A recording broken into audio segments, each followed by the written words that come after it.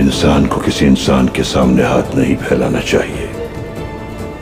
अगर तुम्हें कुछ मांगना ही है तो उसके लिए तुम्हें लौ लगानी पड़ेगी अपने रब करीम से।